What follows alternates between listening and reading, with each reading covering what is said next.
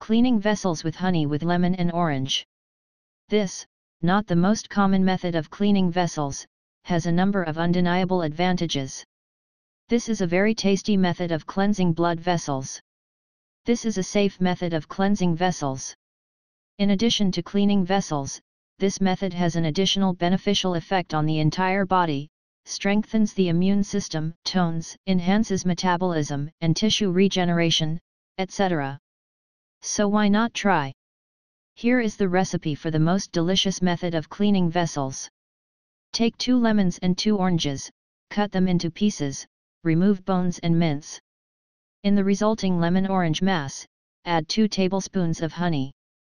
Honey should be of high quality, derived from nectar. And not from sugar, and not subjected to heat treatment. Otherwise, the honey loses its beneficial qualities. If the honey is candied, then it is high quality honey. To check the quality of the unvaccinated honey, dip a thin stick in it.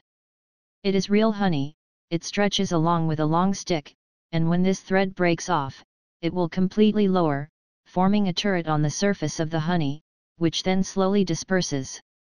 Fake honey is similar to glue, it flows down from the stick and forms spray.